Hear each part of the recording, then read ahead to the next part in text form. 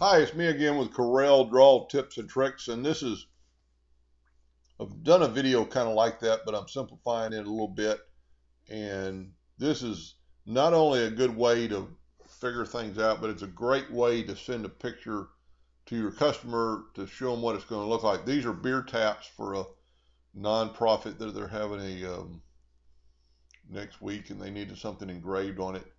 So what I did and and it's a circle and I'm going to put everything on the circle so that'd be easy enough but I wanted to put it I wanted to be able to take a picture of it so I show the customer what it's going to look like before I engrave it. So I laid it out on a floor tile and my tile in this perfect this picture isn't perfect um because it's a little bit slanted picture but so you want to be dead on when overhead when you take your picture. And the tile was is 17 and three quarters from inside to inside, not counting the grout. So I made a red hairline box that's 17 and three quarters. And you can see it's sitting on top. And if you don't, sometimes if you can't figure out where it went, it's hidden because it's on the back side of this photos. So just go to object, order, front of page, and then it's going to overlap that hairline. So then I was able to take that same picture and crop it down.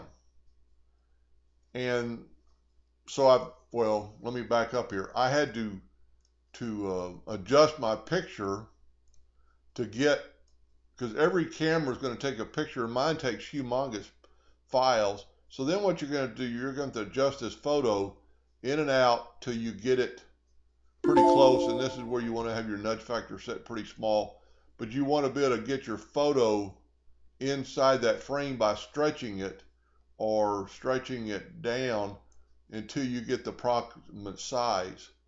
And this is where you can move things around and and that's close enough for the video. But anyway, then I was able to crop it. So now I've got, well, one, it took away my slanted picture and I've still got my tape there and it's from there to there and the only dimension I really cared about, because now I've got it to size. So I measured the disc, and the disc, the disc, the round part is three and a quarter inches. This circle is three and a quarter inches, and what you're probably seeing past there is that the curvature of the the disc kind of uh, bows out in the middle. It's it's uh, the writing surface is three three quarters, so you're seeing in uh, you're seeing some of the the overrun, I guess, what you'd call it on the wood. But so three and a quarter would be safely. Then you could put it in your laser and do a test with this, making sure you're, you know, you're in your parameters. And I was actually also going to, so I sent her this picture just a little while ago to get approved because I curved the top text. Because when you curve the top text, you can actually get it um, a larger text in there. If I wrote this straight across like she had it last year, she sent me a picture. So tomorrow, and when she okays it, I'm going to just put it in the laser. I'll probably uh, either do center center or I'll take a piece of MDF and I'll cut out a circle slightly bigger than this circle. So what I would probably do is take this circle and make a duplicate and make it slightly bigger and then cut or engrave that in the engraver. And then I could put my beer tap right on top of that line and visually see it.